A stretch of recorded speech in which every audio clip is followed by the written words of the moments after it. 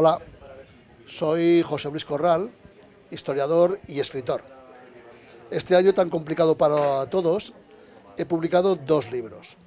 Una novela histórica, titulada mm, El Conquistador, que trata de la vida de uno de los personajes más apasionantes de la Edad Media, el rey de Aragón, conde de Barcelona, rey de Mallorca, rey de Valencia, Jaime I.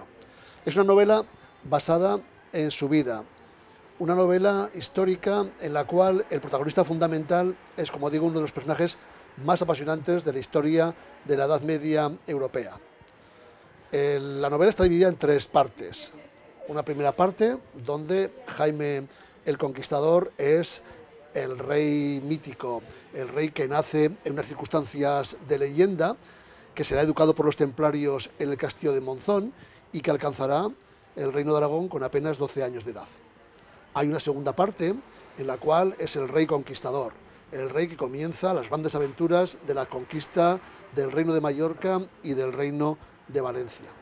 Y hay una tercera parte, la final, que es el rey cruzado.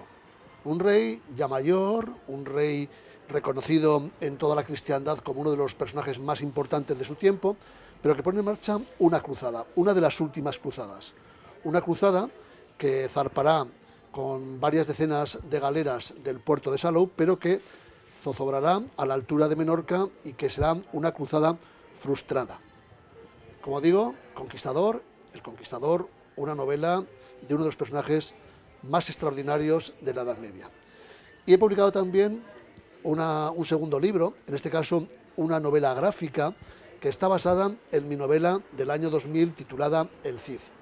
El Cid novela gráfica con dibujos de Andrés Valero, es un recorrido por la vida de un héroe extraordinario, probablemente el personaje más conocido, de más impacto literario de la historia de España en la Edad Media. Rodrigo Díaz de Vivar, el Cid, fue ese personaje a mitad de camino entre el héroe y el mercenario.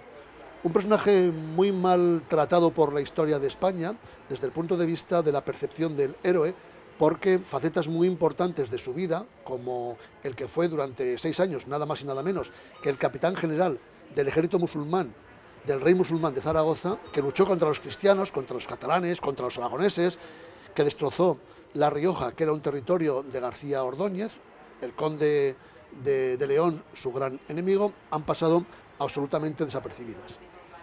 El Conquistador, una novela histórica, El Cid, una novela gráfica que yo les recomiendo porque pasarán un buen rato, espero que aprendan historia y sobre todo que vivan ese mundo de ensueños, esa especie de máquina del tiempo que es la novela histórica.